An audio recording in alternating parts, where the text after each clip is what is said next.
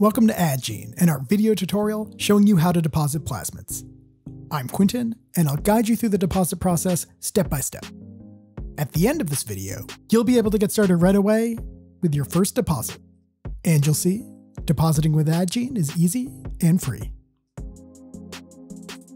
The depositing process begins with providing the plasmid information. You can go to addgene.org, click Deposit, then click online submission to get started. Or you can click Spreadsheet Submission, download a spreadsheet, fill in the plasmid information, and email us at deposit at addgene.org. You can also email us with any questions or if you need any help. We welcome any plasmid that's useful to other scientists. Published unpublished, or pre publication. We can even keep your plasmids unavailable until your article is ready to publish.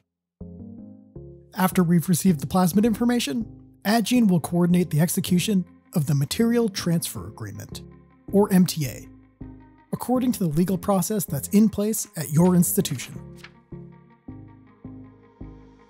As soon as the Material Transfer Agreement is finalized, we'll send you a deposit kit which is a plastic box to protect your samples, barcode stickers, and an envelope that is prepaid by Addgene. All we need from you is about 15 microliters of DNA. Mini prep concentration and quality is fine. Simply attach the barcode sticker to the tube, place it in the plastic box, and use the envelope to ship the samples to Addgene free of charge. Once we receive your plasmid samples, we'll do quality control that includes full plasmid sequencing.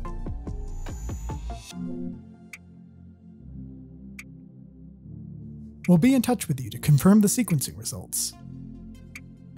You can track the progress of each deposit online and see which stage it's currently at. After quality control is completed, your plasmids are available on Addgene's website.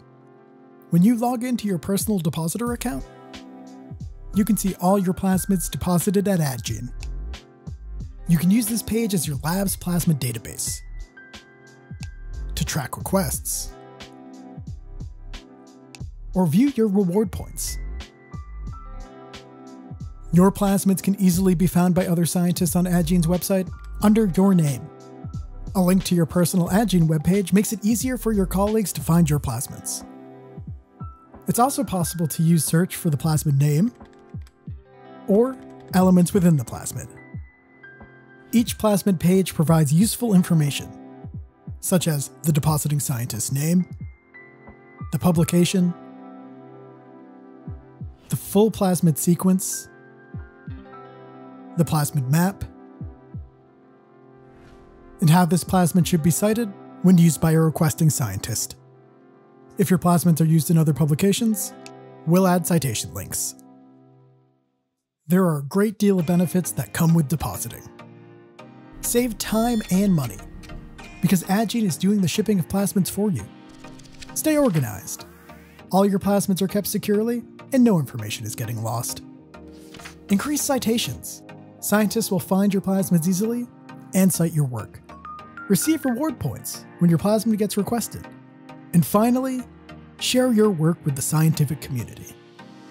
In the past, you may have used plasmids from your colleagues which helped you advance your projects give something back, and feel great about it.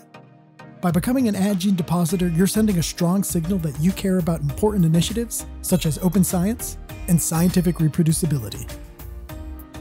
Thank you for watching our tutorial about depositing plasmids. Addgene's mission is to accelerate science by facilitating sharing and giving access to authenticated research reagents. Please contact us at deposit at to get started, or if we can help with any questions. Addgene, a better way to share science.